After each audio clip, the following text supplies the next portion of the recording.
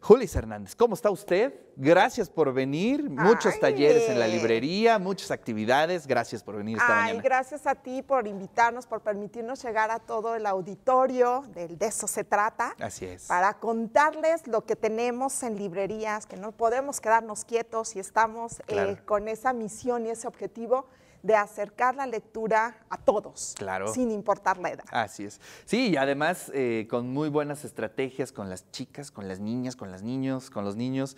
Creo que eso es algo importante ahí, sembrar lectores, ¿no? Exactamente, ese de hecho es una de las actividades que tenemos en Web Librerías. Hemos, eh, le estamos apostando a todo al sembrar los lectores en los niños y tenemos dos proyectos infantiles, uno que ya te conté, el de Claro. Libros a la Vista, que es sí. todos los sábados a las 12, la hora mágica de los cuentos. Así es. Y tenemos otro más que es Sembrando Lectores en tu escuela. Visitamos las escuelas, hacemos actividades de lectura con los grupos. No solamente nos trasladamos y llevamos eh, un punto de venta, no. Interactuamos con los niños para que ellos vean que la lectura Claro. es un pasaporte mágico si utilizan la imaginación. Bueno, pues ahí está una de las actividades que se dan, pero también vienen estos talleres literarios de verano. A ver, cuéntanos cuál es la oferta, qué es lo que vamos a ver o lo que podemos eh, retomar eh, en este verano. Claro que sí, siempre he dicho que el verano nos llena de inspiración, de alegría y de otros sí, aires. sí, sí. Y pues eh, al tener esa inspiración, qué mejor que encauzarla para escribir. Claro. Tenemos seis talleres en esta, en esta ocasión, en nuestro periodo de verano. Recordarles algo importante, nuestros talleres se conforman por 10 sesiones. Cada sesión tiene una duración de dos horas. Es una vez a la semana, de manera que son 20 horas y el costo es de 1.500. En esta ocasión tenemos eh, un taller matutino dedicado al cuento los viernes en la mañana con Betty Meyer, Beatriz Meyer. eh, No, pues ya, ya, ya, ya. Conocida y sabemos que es una excelente maestra Betty Meyer. Así es, ella en lo que es la parte del cuento Así regresa con nosotros para trabajar dos talleres, uno matutino y uno vespertino, enfocado en el cuento. Uno que se titula Estructura del cuento y otro más que se llama Técnicas narrativas, estructura de cuento. ¿Cuál es la diferencia entre uno y otro? El primero, pues que te va a decir cómo, eh, ahora sí que cuáles son las partes, eje del cuento, y en el otro ya te va a dar un poquito más de tips, ya te va a decir cuando el narrador es protagonista, el- eh, la persona que narra en primera persona, todos Claro. esos detalles que ya van más adentro para que aquella personita que dice, yo quiero escribir un cuento, pueda perfeccionar esa idea y pueda llevarla, volverla tangible, ¿no? Que eso es algo importante. Sí, porque- sí, sí. Y además, este, bueno, todos los que tienen la idea de escribir una historia, vayan a los talleres. Creo que es una excelente forma en que nos animemos, pero además que esté a la disposición de un especialista que nos diga por aquí, por allá, quítale, ponle, échale drama o corrige ese final, ¿no? Inicia de esta forma. Eso es algo siempre bien importante. Eso es importantísimo, este, Ricardo, y qué bueno que lo mencionas, porque nuestros talleres se caracterizan por eso, porque nuestros talleristas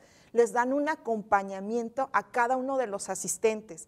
Y además de darles ese acompañamiento que como tú dices, oye, no, esto quítalo, esto está de más, esto, Claro. este, quizás aquí podrías cambiarlo, se da una interacción tan bonita entre, los entre el grupo, porque entre, entre todos com- comentan entre compañeros, oye, y si modificas esto, o mira, van retomando, importante, parten nuestros talleristas de su experiencia, pero también de aquellos conocimientos que tienen como lectores. Entonces van retomando, sí, retoman bibliografía, van, este, les, yo escucho cuando les comentan de repente, lee esta obra porque va muy, muy de la mano de lo que tú traes, ¿no? exacto. Entonces es como Te recomiendo esta lectura, te recomiendo esta es. película, te recomiendo esto, el otro. Eso es importantísimo también. Es correcto. Bueno, ese es el de cuento. ¿Qué más tenemos? Tenemos novela con el doctor Benjamín Sandoval, lo mismo para quien ya está delimitado y dice, yo voy, a, voy sobre el género de la novela.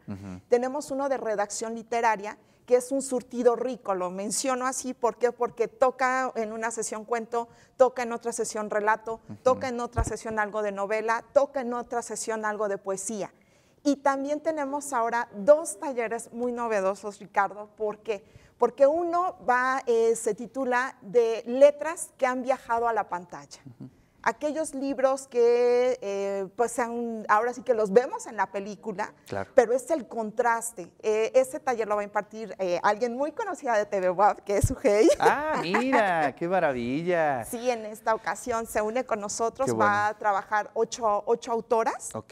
que con su respectiva película, obviamente Ángeles Mastreta no podría faltar, con Claro. su Arráncame la vida, y el contraste, lo que te decía, la obra literaria más eh, parte del film para contrastar y analizar. Qué bien. Oye, pues muy bien.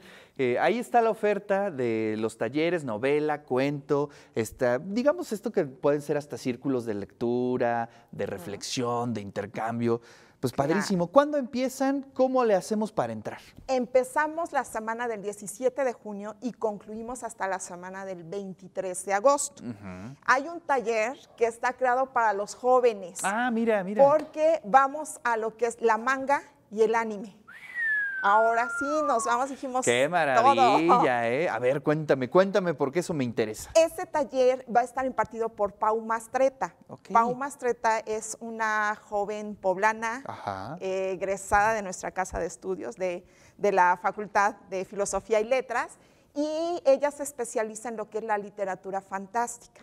Pero ahora viene a compartir con nuestros asistentes todo lo que sabe sobre la manga, el anime y el cómic. Wow. Oye, a ver, eh, ¿esto es para escribir eh, mangas, para escribir cómics o es como un tema de histórico, de entender de dónde viene o como que qué es lo que en qué es consiste? entender primero de dónde viene para que detonen, ahora sí, salga el creador de una manga, Órale. de un anime, Ajá. de el taller de Bungo Literario, que así Órale. se titula. Oye, pues ese va a tener un jale impresionante porque yo le he dicho, este, pues sí, las librerías tienen sus nichos, todo, Claro. pero yo jamás había visto que se hiciera cola para comprar este, libros, ¿no? Y este, he visto varias veces en estas tiendas de cómics y de mangas unas colas impresionantes Claro. y se agotan las ediciones de un montonal de ejemplares.